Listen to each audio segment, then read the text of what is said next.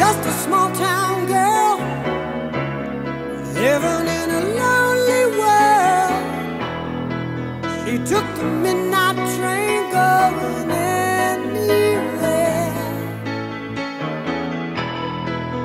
Just a city boy, born and raised in South Detroit.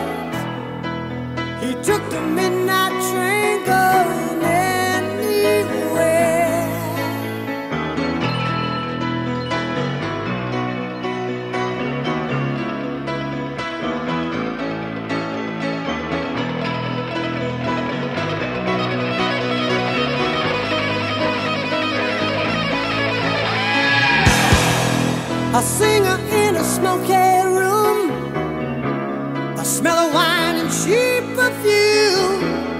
For a smile, they can share